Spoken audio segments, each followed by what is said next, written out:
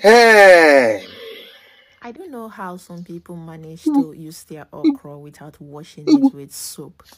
Especially when you go to this Afro shop, you will see everyone hand inside the okra. And sometimes I hmm. feel so discouraged if I want to get okra from the Afro shop. So that's why I'm using soap and sponge to wash my okra properly because this thing is going through inside your stomach. Soap washing stomach. okra. Okra is not something like you will peel out the skin and use the what is remaining inside. This is going direct to your food. So the proper way to use your okra is to wash it with soap and sponge. Yes, it takes time and a lot of work and you don't really have that time. You just want to wash it with normal water. Ah! Ah! Start making your food. Yes, if you have the time, I advise you to wash it very well with soap and sponge so you can know what you are putting inside your food. How you have to be really careful. There's a lot of things going on.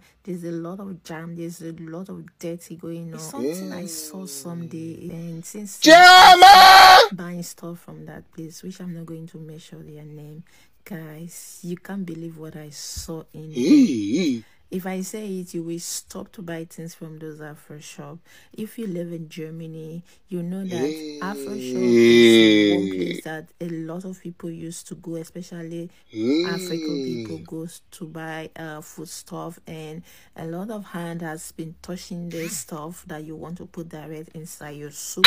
Is meant to use in so many ways. Like I said before, it's not something you peel off the skin so you can use what is remaining inside. So thank you for watching. I hope you enjoyed this video. Make sure you follow for more. Bye.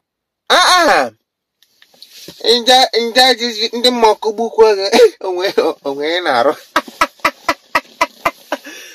ọ dị egwu okra with soap inugbo ah if you buy okra she say for people that do not understand english she say if you buy okra don't eat it like that do not eat it like that Am I inconstipating?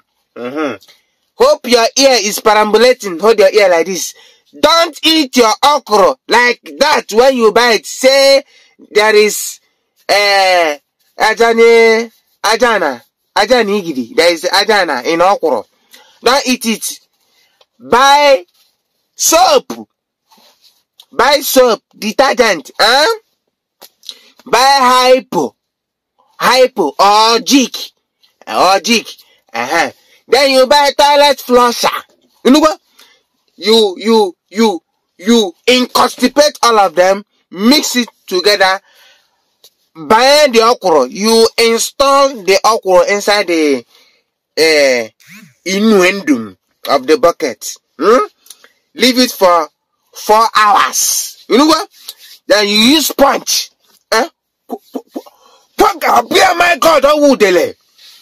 Kwakapo ya bulimandwe one Hmm? After cooking it, you now wash it and uh, you cut it and eat. You know what? Don't eat your okra like that. Oh? Mm. Uh, me, I, uh, Chama, bịa gotere m okra, okay? Ndị mmọkụ gbukwu